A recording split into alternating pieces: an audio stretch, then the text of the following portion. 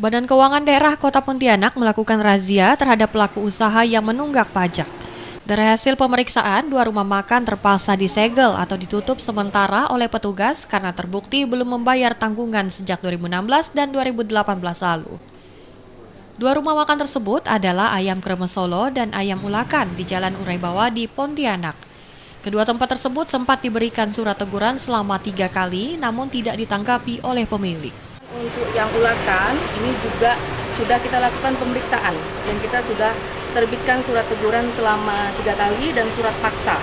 Itu juga kita sudah terbitkan di tahun 2018. Hmm. Dan kemudian uh, hasil pemeriksaan terakhir kami menyatakan bahwa ada piutang sebesar 270 juta. Hmm. Nah ini jadi uh, secara aturan dan SK-nya juga sudah dikeluarkan oleh Bapak Wali Kota itu di tahun 2019 untuk dua rumah makan ini dilakukan penutupan sementara dan secara kooperatif mereka menerima dan mereka uh, akan menyelesaikan uh, operasional sampai dengan hari ini dan besok akan dilakukan penutupan hmm. sampai mereka bisa uh, menyelesaikan terkait tunggakan yang sudah disepakati oleh mereka.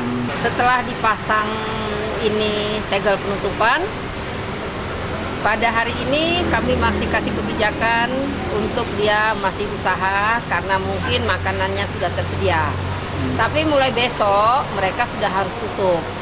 Nah, kalau mereka besok menyelesaikan segala kewajibannya, mungkin ada kebijakan-kebijakan yang dibuat di sana. Nah, itu kalau udah selesai ya kita buka. Berarti dia buka lagi. Tapi jangan coba-coba kalau selesai belum selesai dia buka sendiri kita akan kena sanksi yang lebih berat. Para wajib pajak diminta menyetorkan tanggungan atau minimal sebagian dari piutang agar tempat usaha mereka dapat kembali dibuka. Jika tak segera membayar, rumah makan tersebut dipastikan akan ditutup secara permanen.